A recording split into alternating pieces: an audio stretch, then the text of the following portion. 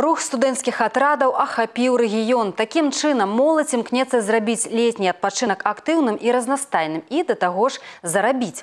Студэнты задзейнічаны на работах рознага профілю, ад будаўніцтва да мастацкага афармлення гарадскіх аб'ектаў.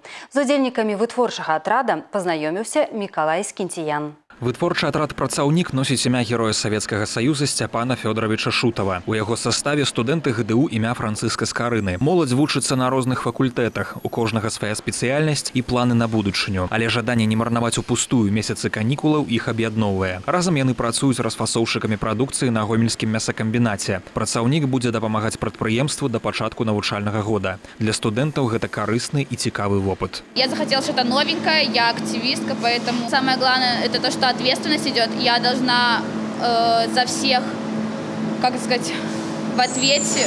Если они меня попросят чем-то, я должна буду им помочь Стымулаў уступіць у студэнцкі атрад мноства. Гэта магчымасць атрымаць першую зарплату, набыць працоўныя навыкі, пазнаёміцца з новымі сябрамі. БРСМ заўсёды заахвочвае самых актыўных і инициативных. Помимо этого, ребята из ну, преимущественно строительных отрядов, если себя хорошо зарекомендуют, то у них есть возможность попасть уже к определенному работодателю по окончании своего учебного заведения. На сёння камітэты БРСМ Гомельскай вобласці падпісалі больш як 180 дагавораў з прадпрыемствамі і установамі. Гэта амаль 2400 400 рабочых месцаў для студэнтаў. Колькасць маладых людзей, якія сёлета выказалі жаданне працаваць у вытворчых атрадах, перавысіла 3600 чалавек. І гэтая лічба расце. Мікалай Скінціян, Валера Гапанько, тэлерадыёкампанія Гомель.